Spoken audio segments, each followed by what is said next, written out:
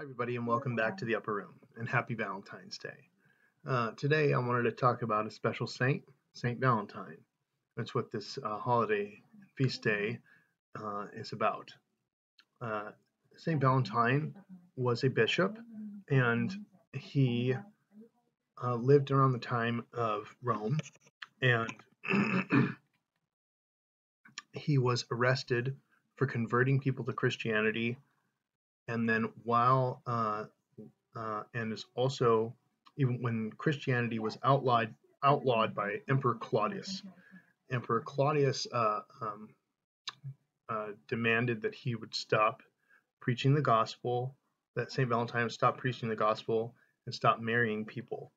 Uh, Saint Valentine uh, continued to marry people in secret, and he continued to convert people to Christianity uh, for this for these crimes, according to Claudius, Emperor Claudius, he was arrested and imprisoned. While he was in prison,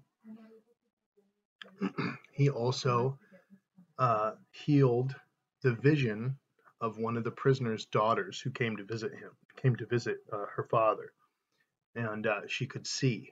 Um, so, before uh, Emperor, excuse me, Emperor Claudius demanded that Valentine renounce his faith in a public manner. He refused, or, or be killed. He refused.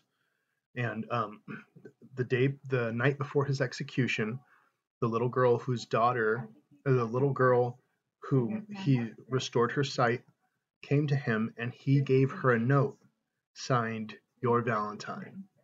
So that's where we get giving Valentine's cards to people to each other is from this experience and we celebrate Valentine's Day, a day of love, because a man was severely persecuted for upholding the sacrament of marriage, to upholding preaching the gospel in Jesus Christ, and even at one point becoming friends with Emperor, Emperor Claudius while imprisoned.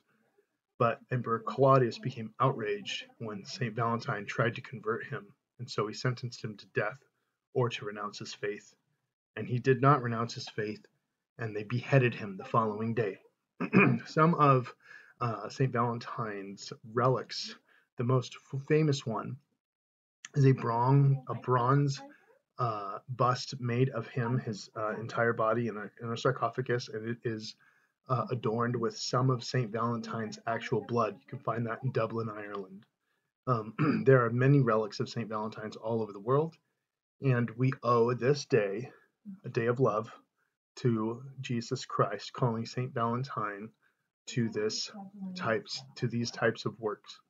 Uh, he is the sacred saint of happy marriages, of uh, engaged couples, of married couples, um, and also of uh, people with epilepsy.